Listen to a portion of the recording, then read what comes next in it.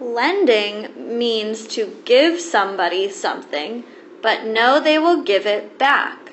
For example, maybe you want to lend your friend your favorite book to read, and then they will give it back. There are benefits or good things about lending.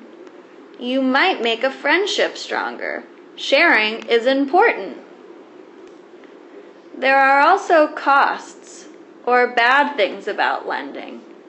If the person you are lending to is not responsible, your property might get damaged, or they might not return it on time. It is important to think before you make a lending decision.